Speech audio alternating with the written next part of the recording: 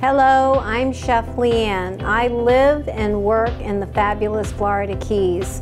I've lived in the Keys and worked the industry for over 40 years. I've had the pleasure of working with my mother and my two daughters by my side in my restaurant, The Coffee House, for 21 of those years. In 2017, I lost both my home and my business in Hurricane Irma. I had to strap on my boots and get to work. In 2018, I opened my new business, Clouds in My Coffee Catering, mostly private chef events. Um, in 2021, I opened up The Table, which is for private personal events. I had the great opportunity to travel to France, Spain, Italy, and Portugal. This is where I learned my passion for food and wine.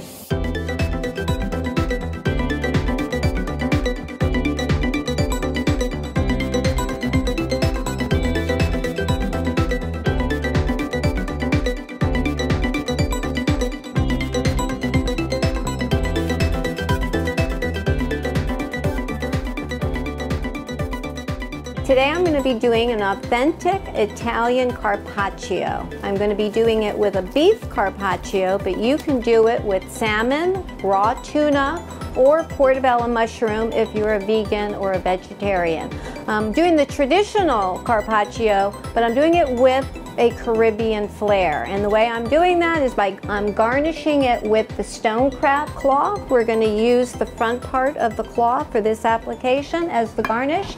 And then I'm also making my own cilantro, Calabrian chili, shallot, oil to do the drizzle and then we'll garnish it with the capers. Let's go ahead and get started.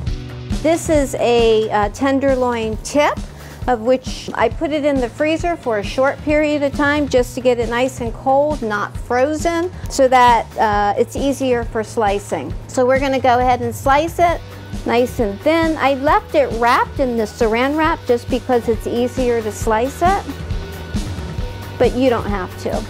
So I'm just gonna do a couple of slices to put on the plate. But before I do that, I'm gonna go ahead and put it on this saran wrap so that I can pound it out for its display. Another piece of saran wrap. Lay it right on the top, like that.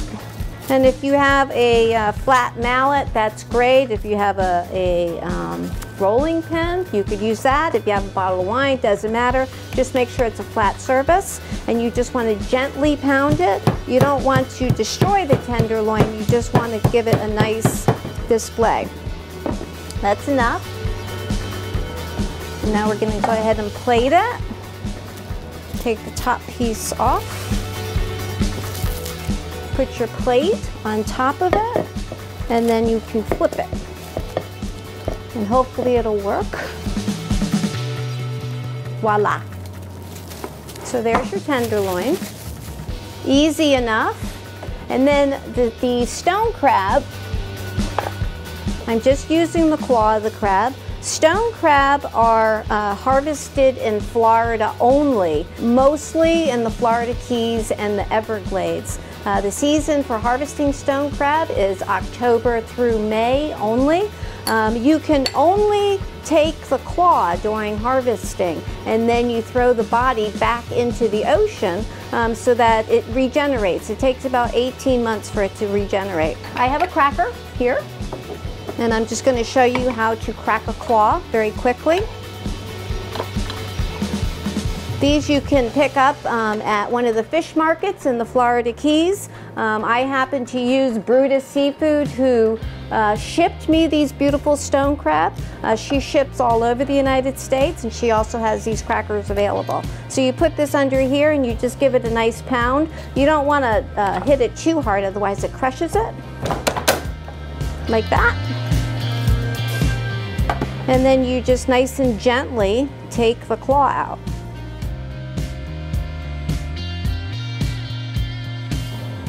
Like so. So I have them already cleaned here. So we're going to put the two claws on the plate. as a garnish. And then next we're going to make the cilantro aioli sauce. So I have fresh cilantro here and I'm going to be uh, doing it in the blender. All right, so we're going to be making the cilantro chili pepper key lime oil to garnish on the top of the tenderloin.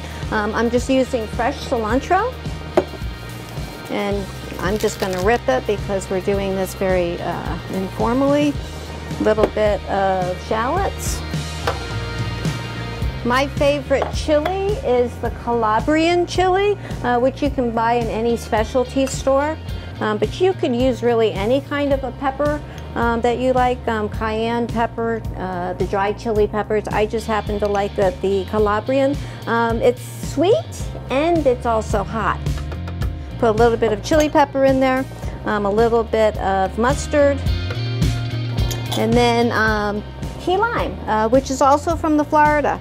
Florida Keys. Um, they're yellow, they're not green. Uh, when these ripen, they will turn um, a beautiful yellow color and the inside will also be a beautiful yellow color. You would have to squeeze a lot of these limes in order to get four ounces of key lime juice. So the go-to, and my favorite, is Nellie and Joe's key lime juice. You can squeeze the key limes if you want, but I would recommend that you use the, uh, the Nellies. It will make life so much easier, I promise. I'm doing like maybe a tablespoon of the key lime juice and then a little bit of extra uh, virgin olive oil. I really like the light oil, but I don't have any today, so I'm going to use the extra virgin. Uh, maybe about three tablespoons. And then salt and pepper. That'll be fine. The reason I'm putting it in the squeeze bottle is only for a professional reason um, because I like the way it looks when I put it on the plate.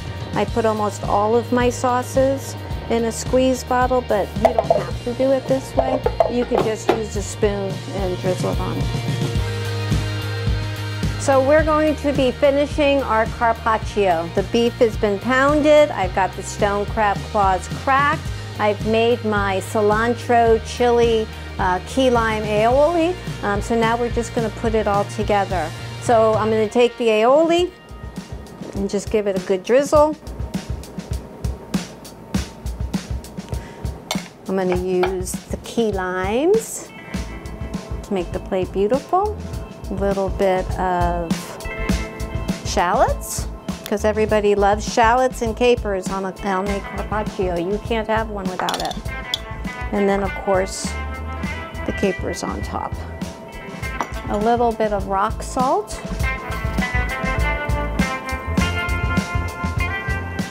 And then some arugula.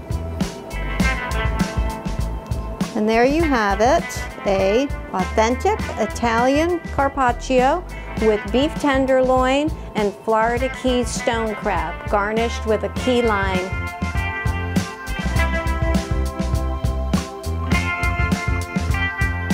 So now we're going to be doing the second course, uh, which is um, also an authentic Italian potato croquette. Uh, very similar to an arancini rice ball, um, but instead of using rice, we're going to use potato. Uh, in my family, it was whatever was left over, um, rice or potatoes, but you do it the exact same way.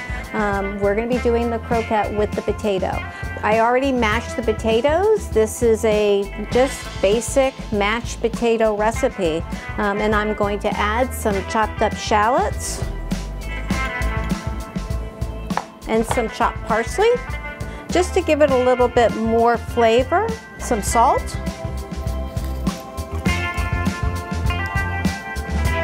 And some pepper. Instead of filling it with a traditional ragu, uh, which would go in a Italian um, either arancini or croquette, um, now in order to roll these, um, I'm going to stick my hands in flour and I'm going to keep them floured all the time. Um, otherwise it's going to stick. So uh, if you're doing a uh, event for appetizers, you can do small ones. Um, if you're doing a, dinner, which I'm doing an entree, so I'm making them nice size. And I'm gonna serve two of them on the platter. but you can make these any size you want. That's easy enough. So now we're going to be making the filling for the croquette. I'm using the knuckle of the stone crab. I'm using cream cheese, softened cream cheese, um, only because it helps hold the crab together. Uh, but you could use any kind of cheese. You could use a goat cheese, you could use uh, mozzarella. Um, I use the cream cheese because it helps hold the stone crab together. And again, of course, I love my Calabrian chilies and I have to bring the Italian into it. So I'm adding a little bit of the Calabrian chili. Want to make sure that you get a lot of that uh, crab meat in there. Again, I'm gonna flour my hands. Take your potato croquette and you're gonna put a little hole in the center of it with your finger, almost like a well, like this. And you're gonna put your filling in. You don't wanna overfill it because then when you're frying your potato, it'll uh, pop open on you, okay? And then you just take the potato and you just kind of work it around until you close the hole and make sure it's nice and sealed like that. Give it its round ball. There we go. Same thing. This is time consuming, but I guarantee you your, uh, whoever your guests are that you're cooking this for is gonna just absolutely love it. I like doing wine pairing, and I just recently did a wine dinner uh, with the Minor Wine uh, Winery and uh, we uh, paired the Chardonnay with this particular dish um, because of the cream cheese and the stone crab in the middle just brought out the, uh, the flavor um, of their Chardonnay wine and everybody was just over the top wowed by it. Okay, so now we're gonna go to the dredging part of it. I have plain all-purpose flour, I have eggs, and then I have seasoned breadcrumbs. I like seasoned breadcrumbs um, just because it brings it more flavor. I'm gonna flour my hands again. Very important, otherwise everything starts to stick to you. Roll it in there. Shake off the excess flour. Then you're gonna go into the egg, roll it again, and then into the breadcrumbs.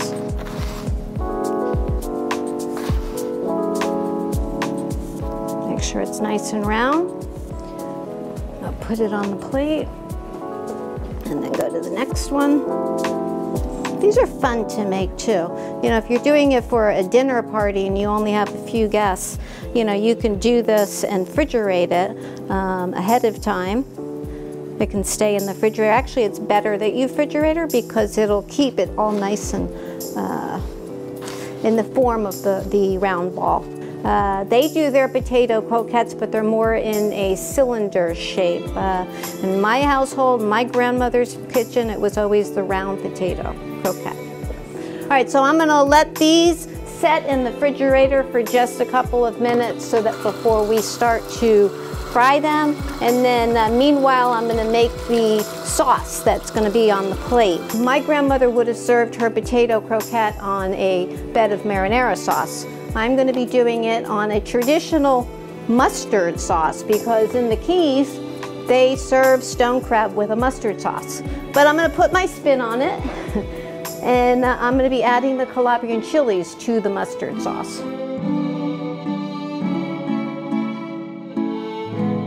So now we're going to make the uh, mustard sauce uh, for the bed for our croquette to rest in. I'm going to put a spin on a traditional mustard sauce. So I'm using mayonnaise. And everybody has their own version of a mustard sauce. This is my version.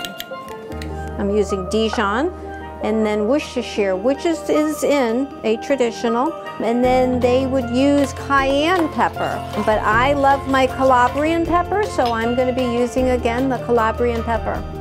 And I want a little bit of heat to it, so I'm adding a lot.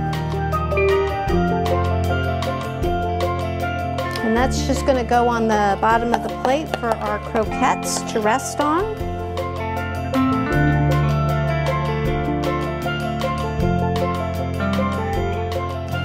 Now my croquettes have been in the refrigerator um, for about 10 to 15 minutes And um, I've got uh, canola oil. You could use vegetable oil if you like, but I like using canola oil.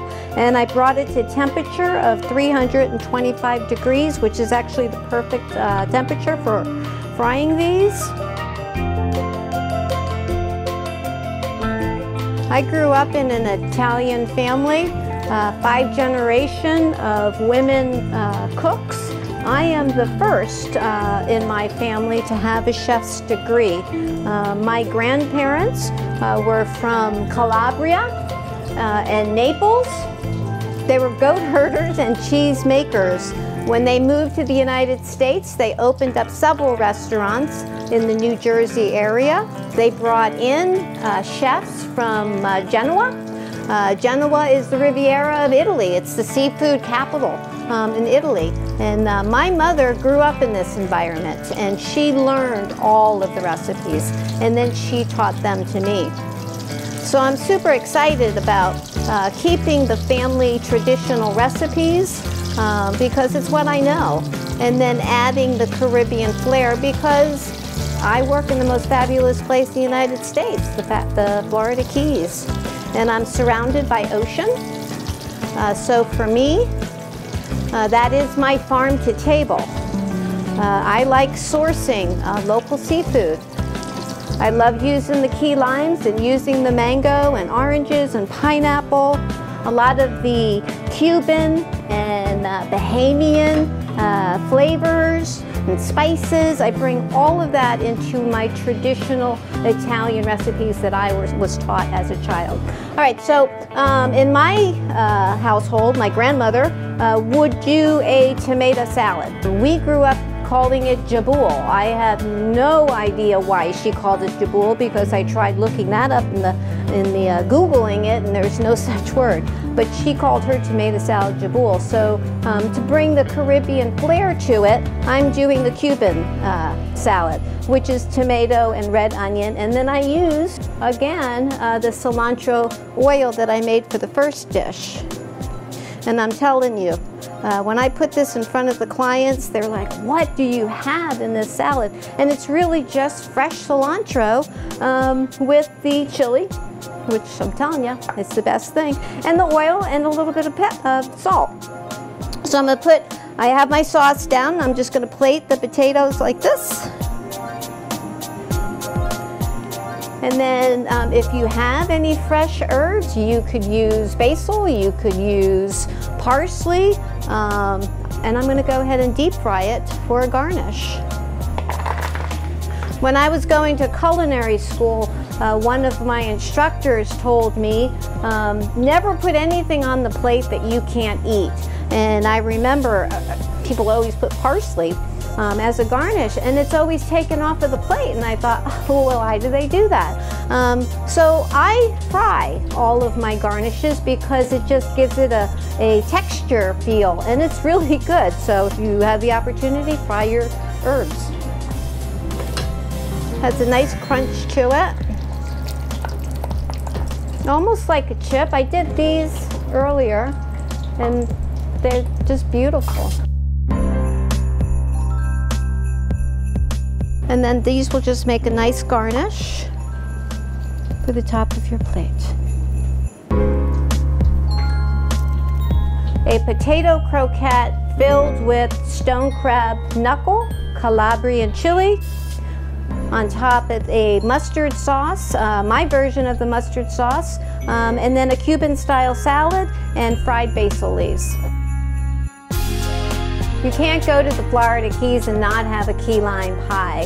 Um, I do my key lime pie a little bit uh, different. Um, I call it a key lime tart. I use a puff pastry um, that you bake in the oven at 275 until it raises and then the center you just take the top out and then just make sure that you have all of the raw materials taken out of it. Um, the key lime filling is a traditional key lime filling. Um, you could read the recipe in the back of your Nellie's bottle. So I'm going to be using sweetened condensed milk. I have two egg yolks. And I'm only going to use a half a can for this demonstration, but you can follow the recipe in the back of the bottle. And then I have four ounces of the key lime juice. I'm only going to use half of this again because we're doing half a portion uh, just for the demonstration. You never want to whisk the filling for your key lime pies because you don't want to have air in the, uh, the filling. Um, if it, it then turns into a custard and it's a different kind of a texture than what you want for a traditional key lime pie filling. So I've got it all incorporated and I'm just going to go ahead and fill my tarts.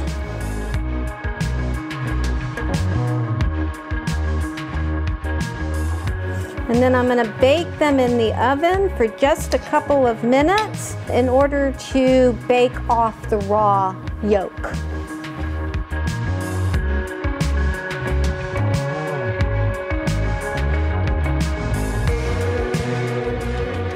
So we're making a whipped cream to go on top of my key lime tart. It's a basic whipped cream. Anybody can make it, it's easy, um, and if you have any left over, it's great for coffee in the morning. So I'm just taking heavy cream. You could use a food processor or a blender, it doesn't matter. And I'm gonna go ahead and start it off. The thing with uh, making a whipped cream, uh, you don't want to overturn it because then it turns into butter. So you do have to keep a good eye on it. Um, the best thing that I like to tell my students um, is that uh, you, you listen to it. It has like almost like a whoop, whoop, whoop sound to it. So go ahead, turn it on.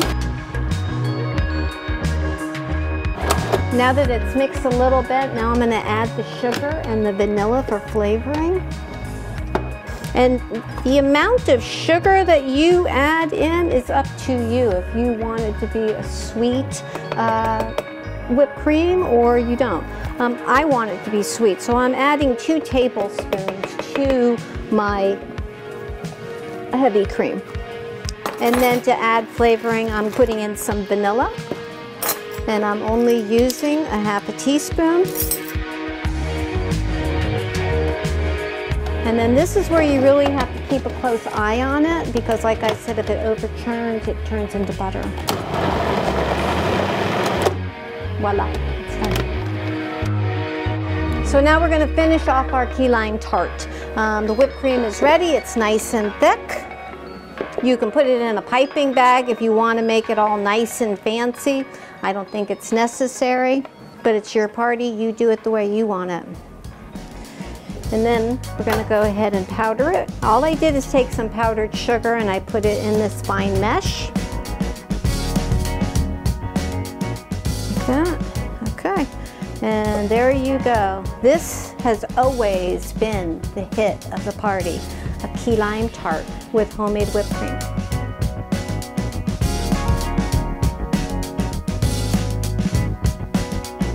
If you want to see more of me, uh, next week, I'm going to be doing a whole grouper pasta puttanesca. It's a sight, and you want to stay tuned for that. Um, you can also check me out on my website, Instagram, Facebook, Clouds in my coffee catering, or if you happen to be in Marathon in the fabulous Florida Keys, let me do the cooking for you. I'd like to give a shout out to Elise at Brutus Florida Keys Seafood Company. If you would like to have those stone crabs shipped to you, they can do it.